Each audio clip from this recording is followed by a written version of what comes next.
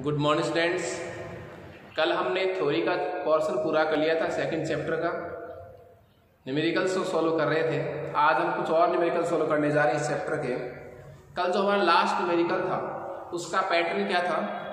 कि यदि कोई इलेक्ट्रॉन निम्न कक्षा से उच्च कक्षा में जाता है या उच्च कक्षा से निम्न कक्षा में आता है तो जब वह निम्न से उच्च में जाएगा तो ऊर्जा का अवशोषण करेगा, ऊर्जा का अंतर पॉजिटिव में आएगा आंसर जब वो उच्च कक्षा से निम्न कक्षा में आएगा तो ऊर्जा का उत्सर्जन करेगा डेली का आंसर किसमें आएगा? नेगेटिव में. क्लियर है? तो धनात्मक और ऋणात्मक जिन इस बात को इंगित कर रहे हैं कि ऊर्जा का अवशोषण हो रहा है या उत्सर्जन. क्लियर है?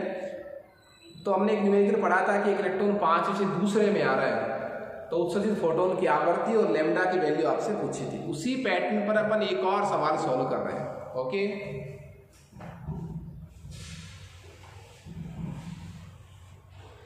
देखिए इसमें एक सवाल है और सवाल ये आपके पास कि हाइड्रोजन का परमाणु है हाइड्रोजन का क्या है? परमाणु। एन बराबर चार ऊर्जा स्तर से एन बराबर दो ऊर्जा स्तर में इलेक्ट्रॉन जाता है। वो क्या करता है? इलेक्ट्रॉन कहाँ से कहाँ जा रहा है? इलेक्ट्रॉन जा रहा है एन बराबर चार से कहा आ रहा है? एन बराबर दो में। एन बराबर चार से कहा रहा है? एन बराबर दो में।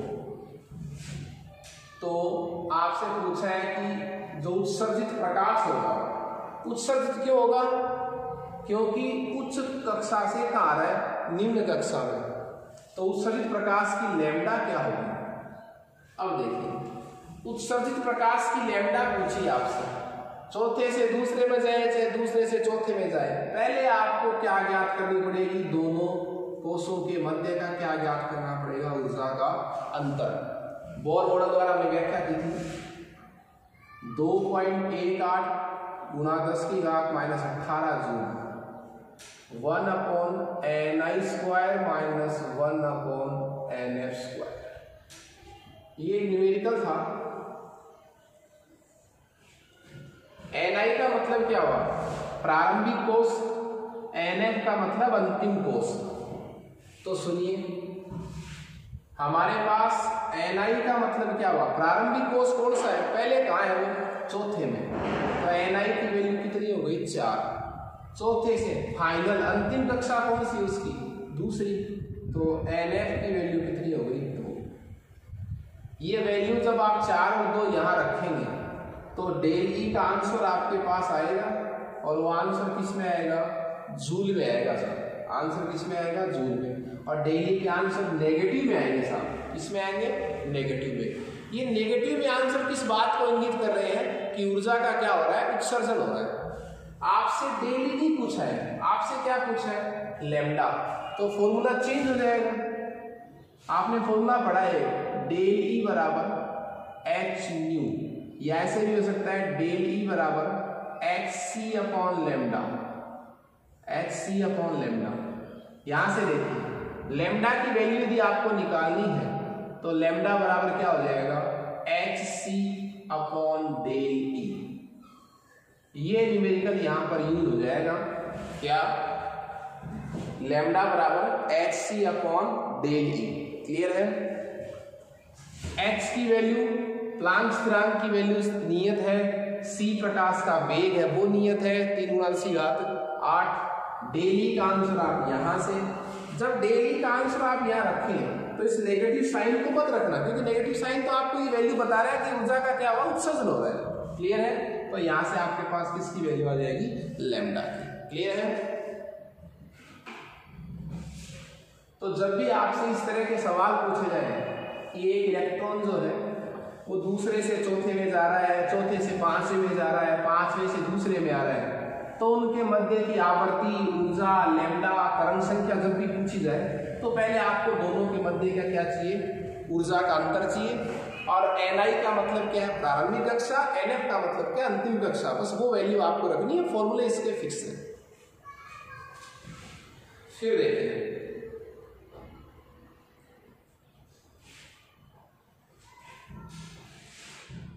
देखिए, एक अलग तरीके का सवाल है। उसने कहा हाइड्रोजन का तो परमाणु है हाइड्रोजन का तो क्या है? परमाणु है आपके पास। हाइड्रोजन का परमाणु है। और इलेक्ट्रॉन को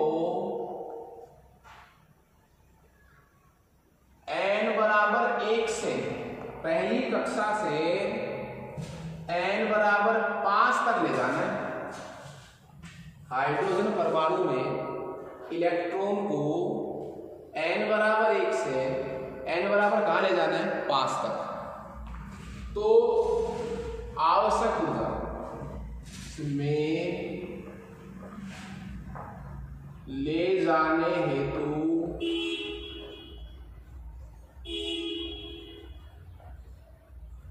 आवश्यक ऊर्जा आपसे सवाल में पूछिए सवाल छोटा सा है इलेक्ट्रॉन को एन बराबर एक से एन बराबर पाँच में ले जाना है पहले को से पाँच में ले जाना है निम्न से कहा ले जाना है उच्च में ले जाना है तो एनर्जी क्या होगी एब्जॉर्ब होगी।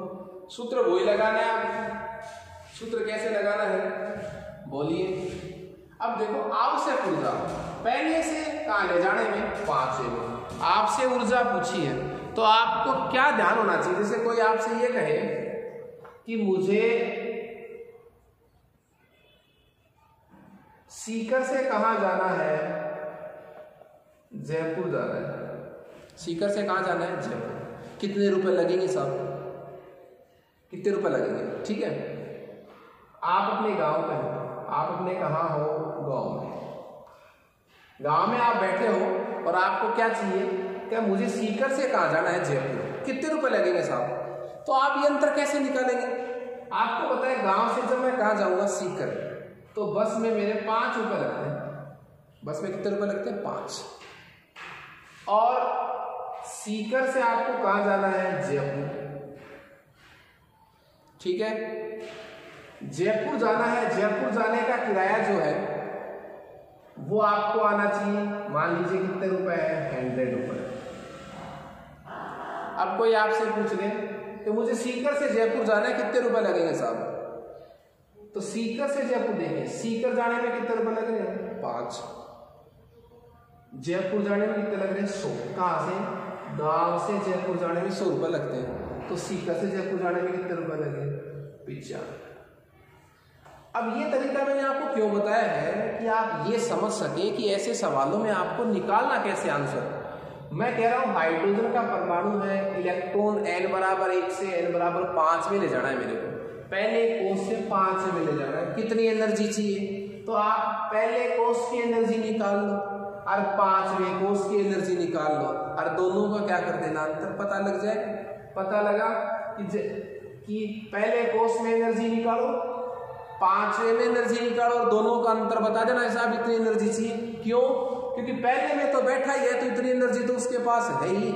अब पांचवे में जाने लायक एनर्जी और चाहिए उसको तो वो कितनी होगी? कोई कहे मेरे पास पचास रुपए तो है। जयपुर जाना है पिचानवे लगते हैं जयपुर के सिक्के जयपुर के तो उसको ओनली कितने रुपए चाहिए? पैंतालीस ये तो ये पैंतालीस कैसे है? मैंने पिचानवे से पचास को बता दिया। पिचानवे जयपुर की वैल्यू थी सीकर की पचास बता रहा हूँ तो वैल्यू अंतर ही तो है। तो मेरे कहने का मतलब है जब आपको ऐसे सवाल सॉल्व करने हो कि पहले से दूसरे में ले जाना है दूसरे से चौथे में लाना है तो कितनी एनर्जी चाहिए? तो वो कितनी एनर्जी कैसे आएगी? आप दोनों कक्षाओं की एनर्जी का क्या निकाल लेंगे अंतर निकाल लेंगे क्लियर है? तो देखो।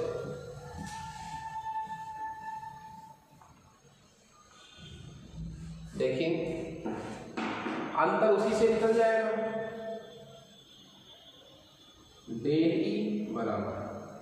दो पॉइंट एक आठ into ten raise to power minus अट्ठारह joule. One upon N I square minus one upon N F square. इसमें क्या होगा? एन आई की वैल्यू प्रारंभिक कोष कितना है? एक। फाइनल कौन सा है। वो पाँच तो आपके पास एनर्जी का डिफरेंस आ जाएगा। ठीक है? तो ये पैटर्न था। इस पैटर्न पर हमने दो सवाल सॉल्व कर लिए हैं। आपको एन आई और एन एफ़ की वैल्यू ध्यान से रखनी है। उसके बाद एक अलग तरीके का सवाल देखिए। इसी पैटर्न का। कि हाइड्रोजन का परमाणु है आपके पास। हाइड्रोजन का क्या है? परमाणु है। और हाइड्रोजन के परमाणु में एक इलेक्ट्रॉन है जो एन बराबर कहाँ बैठा है? एन बराबर दो से इलेक्ट्रॉन को पूरी तरह बाहर निकालने हेतु आवश्यक ऊर्जा कितनी होगी? सवाल को समझना। हाइड्रोजन परमाणु में एक इलेक्ट्रॉन बैठा है, कहा? एन बराबर दो में। उस इलेक्ट्रॉन को पूरी तरह बाहर निकालना है। पूरी तरह बाहर निकालने का मतलब है उस परमाणु से उसको बाहर निकालना है। और परमाणु से बाहर निकालने का मतलब उस हम इलेक्ट्रॉन को कहाँ मानेंगे? इनफाइनाइट अनंत पर मानेंगे। क्लियर है? और इलेक्ट्रॉन की ऊर्जा सर्वाधिक होती है। कहाँ? अनंत पर। और वो कितनी होती है? शून्य। अनंत पर शून्य होती है। अनंत से पहले नेगेटिव होती है इलेक्ट्रॉन के अंदर। तो देखिए एन बराबर दो से पूरी तरह इलेक्ट्रॉन बाहर निकालना है। कितनी एनर्जी चाहिए? वही तरीका लगाना है आपको। आपको पूरी तरह बाहर निकालने का मतलब क्या हुआ? कहाँ भेजना है इनफाइनाइट तो अंतरिक्ष अनंत पर इलेक्ट्रॉन की ऊर्जा निकाल लो और एन बराबर दो में इलेक्ट्रॉन निकालो सीधी सी बात है, मान लो कोई कहे आकाश में जाने के लिए सौ रुपए चाहिए, मेरे पास दस रुपए तो कितने रुपए और चाहिए भाई जी? तो एन बराबर दो से कहाँ भेजना चाह रहे हैं अनंत पर। तो कितनी एनर्जी चाहिए? तो आपको दो जगह की एनर्जी चाहिए पहले। आप पहले निकाले कि दूसरे कोष में उसकी एनर्जी कितनी है और अनंत पर एनर्जी कितनी चाहिए दोनों का अंतर निकाल बात एक ही है, दोनों का क्या निकालना है? अंतर। तो देखिए, आवश्यक ऊर्जा ये नहीं होगी क्या? कहा एनर्जी निकाले आप अनंत पर। अब अनंत को पहले क्यों लिख रहा हूँ? क्योंकि अनंत पर इलेक्ट्रॉन की ऊर्जा सर्वाधिक होती है। तो ज़्यादा वैल्यू इनफाइनाइट की है। इनफाइनाइट माइनस ई टू ये। ये सूत्र बन गया आपके सामने कोई कहे, मुझे एन चौथे कोष से इलेक्ट्रॉन को बाहर भेजना है तो कितनी एनर्जी चाहिए? अनंत पर भेजना है। चौथे से तो ई अनंत पर निकालो एनर्जी और चौथे कोष में इलेक्ट्रॉन की एनर्जी दोनों का क्या कर देना? माइनस ओके अब आपको पता है ई इनफाइनाइट अनंत पर इलेक्ट्रॉन की एनर्जी कितनी होती है? ज़ीरो माइनस ई टू दूसरे कोष में एनर्जी निकालनी, दूसरे कोष में एनर्जी कैसे निकलेगी? ई टू बराबर माइनस दो पॉइंट एक into ten raise to power minus अट्ठारह बोलिए। Z square upon L square ये फॉर्मूला आपने पढ़ा होगा मेरे हिसाब से। जब आपने गौर मॉडल पढ़ा है तो ये फॉर्मूला भी पढ़ा होगा जेड स्क्वायर बटा एन स्क्वायर क्लियर है? तो यहाँ देखिए दूसरे कोर्स में एनर्जी जेड क्या है? परमाणु क्रमांक? हाइड्रोजन के लिए परमाणु क्रमांक। एक एन बराबर कितना पूछ रहा है? दूसरे कोष से।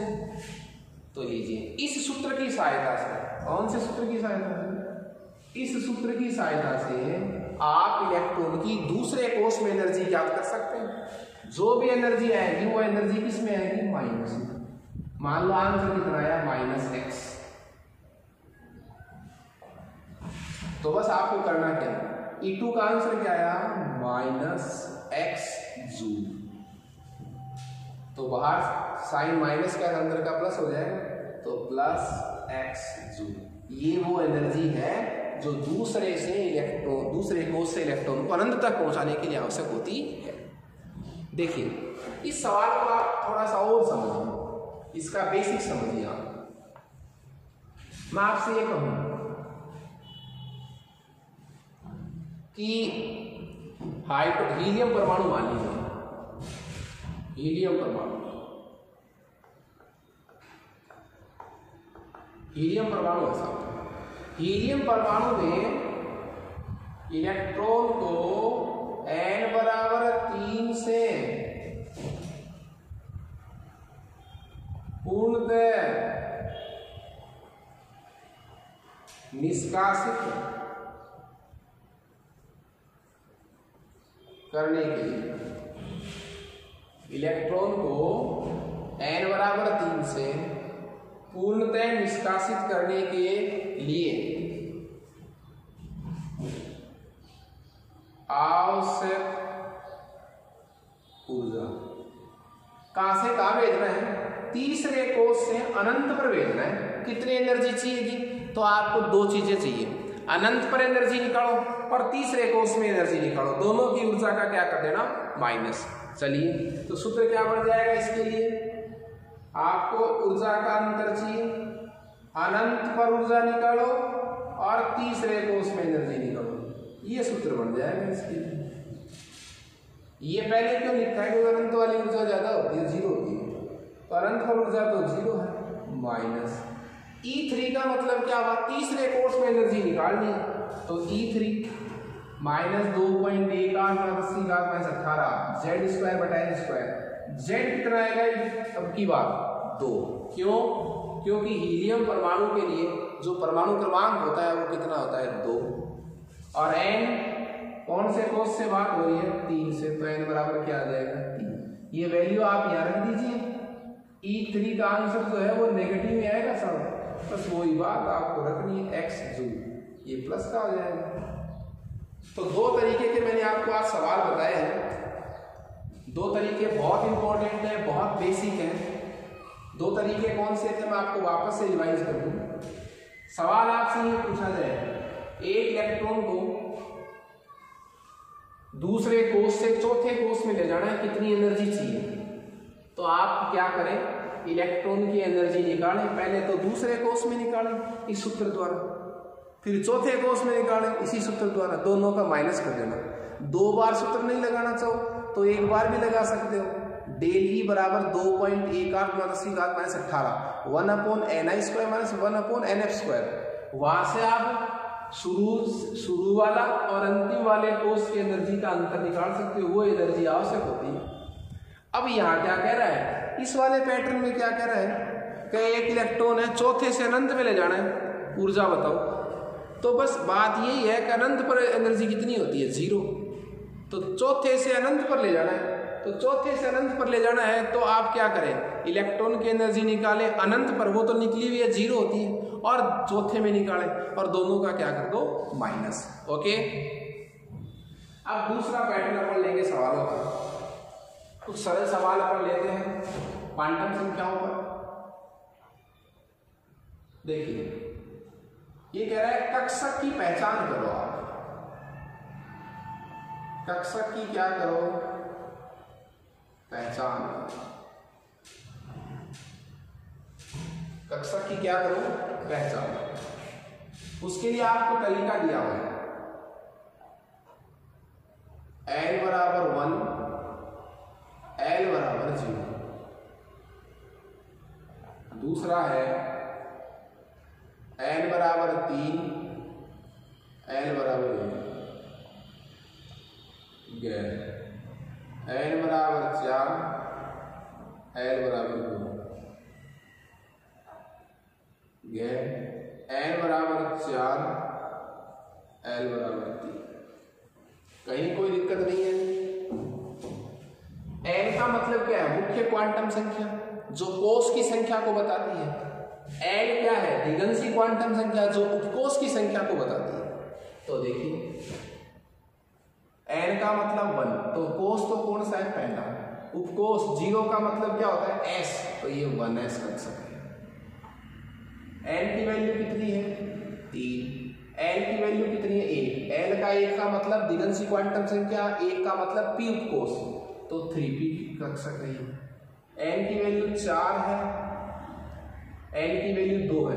एन की वैल्यू दो का मतलब डी कोर्स तो फोर डी है। एन की वैल्यू चार थ्री का मतलब एस पी डी एफ़ तो फोर एफ़ क्योंकि आपको पता है एल की वैल्यू जब ज़ीरो होती है, एक, दो, तीन होती है तो उपकोष का प्रकार कौन सा बताते हैं अपन? एल की वैल्यू ज़ीरो है तो एस उपकोष वन है तो पी उपकोष टू है तो डी उपकोष और थ्री है तो एफ़ उपकोष क्लियर है?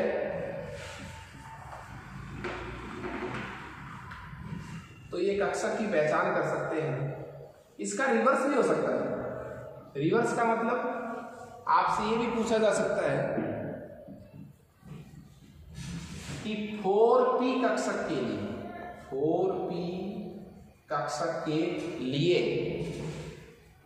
फोर पी कक्षक के लिए एन तथा एल के मान ज्ञात कीजिए। फोर बी कक्षक के लिए एन तथा एल के मान ज्ञात करो सर। तो फोर बी कक्षक के लिए जब एन और एल के मान है तो देखिए, ये तो किसका मान आता है? जब भी इस तरह का रिप्रेजेंटेशन आता है तो जो स्टार्टिंग की वैल्यू है, वो किसकी आती है? एन की। और जो पी उपकोष है, उसके लिए किसकी वैल्यू लिखते हैं? एल तो एन की वैल्यू तो कितनी हो जाएगी? है चार। एल की वैल्यू पी उपकोष के लिए एल की वैल्यू वन ये लीजिए। तो दोनों तरीके के सवाल आ सकते हैं। आपसे कक्षक देकर क्वांटम संख्या पूछ सकते हैं। क्वांटम संख्या देकर कक्षक का प्रकार पूछ सकते हैं।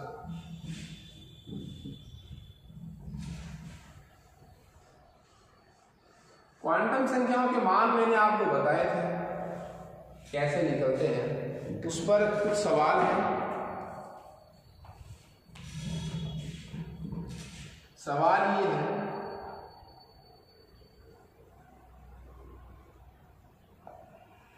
क्वांटम संख्या के कौन से मान संभव नहीं है। क्वांटम संख्या के कौन से मान संभव नहीं है? मान दे रखे हैं। देखिए। एन बराबर ज़ीरो एल बराबर ज़ीरो एम एल बराबर ज़ीरो एम एस बराबर वन प्लस टू एक दे रखा है, तीसरा ले लेते हैं। एल बराबर एक एल बराबर एक एम एल बराबर ज़ीरो, और एम एस बराबर प्लस एक बटा दो। उसके बाद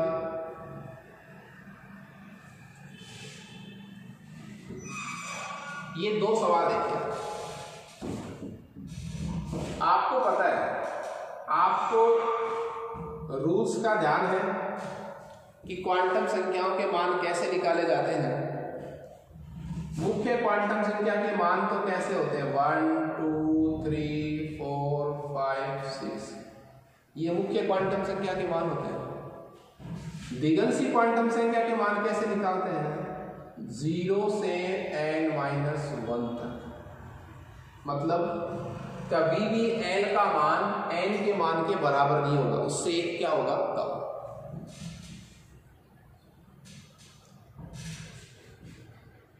चुंबकीय क्वांटम संख्या के मान माइनस एन से प्लस एन तक। चुंबकीय क्वांटम संख्या के मान कैसे निकलेंगे माइनस एन से प्लस एन तक। यदि आपके पास एन की वैल्यू है तो आप उससे चुंबकीय क्वांटम संख्या का मान निकाल सकते हैं। माइनस एन से शुरू कर दीजिए, ज़ीरो को शामिल कीजिए, प्लस एन तक। और सक्कड़ क्वांटम संख्या के दो मान पॉसिबल है plus one by two and minus one by two ये रूल्स मैंने आपको बताए थे। अब इनको सोल्व कीजिए। एन बराबर ज़ीरो पॉसिबल है। जब एन बराबर ज़ीरो है एन बराबर ज़ीरो नहीं हो सकता। कोई कोस ही नहीं है तो कोस कहाँ से आएगा? इसका मतलब ये मान पॉसिबल नहीं है।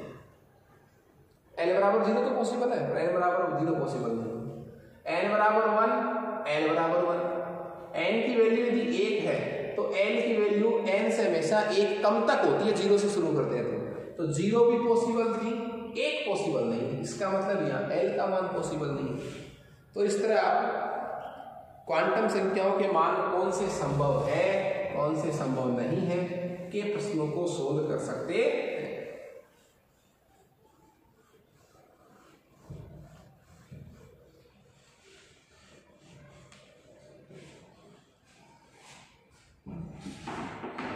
उसके बाद एक सवाल देखते हैं।